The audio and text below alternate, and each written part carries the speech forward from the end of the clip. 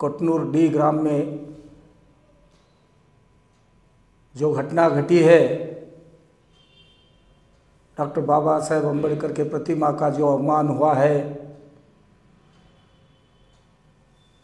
उसको खंडन करते हुए कल 24 जनवरी 2024 को भारतीय दलित पैंथर की ओर से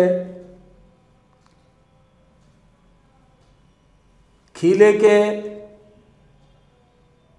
खिले से होते हुए अंबेडकर चौक तक प्रतिभटना रैली निकाला जा रही है। उस रैली में बसव कल्याण के तमाम अवाम को मैं गुजारिश करता हूँ और बसव कल्याण के तमाम दलित पैंथर के कार्यकर्ताओं को मैं गुजारिश करता हूँ कि इस कार्यक्रम में इस प्रतिभटना रैली में ज़्यादा से ज़्यादा संख्या में उपस्थित होके इस रैली को यशस्वी बनाएँ क्योंकि कई सालों से हर तालुके में हर शहर में आपके सपने हमारे अपने new developers private limited company Knowledge Park, the creative school, school for quality and innovative education. Baba Saheb Ambedkar ji के मूर्ति का अवमान होते जा रहा है।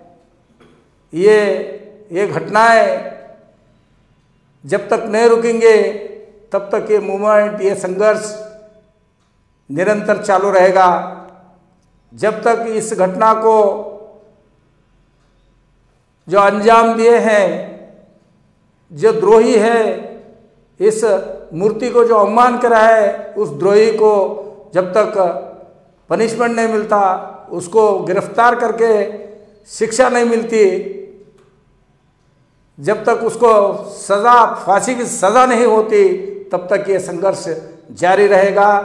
उस उस वजह से कल 24 जनवरी 2024 को भारतीय दलित पैंथर की ओर से इस प्रतिभटना रैली का आयोजन करे हैं और इस प्रतिभटना रैली में तमाम बसो कल्याण के अवाम और जनता को मैं गुजारिश करता हूँ ज़्यादा से ज़्यादा संख्या में उपस्थित होकर इस रैली को यशस्वी बनाए। और ये रैली अंबेडकर चौक जाने के बाद तहसीलदार के मुखांतर बस कर्नाटक के मुख्यमंत्री जी को मनवी पत्र भेजा जाएगा। और ये तो, कल ठीक 12 बजे खिले से 11 बजे से रैली का शुरुआत हो जाएगा। ज़्यादा जल्द से जल्द एक दो बजे के अंदर इस रैली को ख़त्म करके मनवी पत्र दिया जाएगा।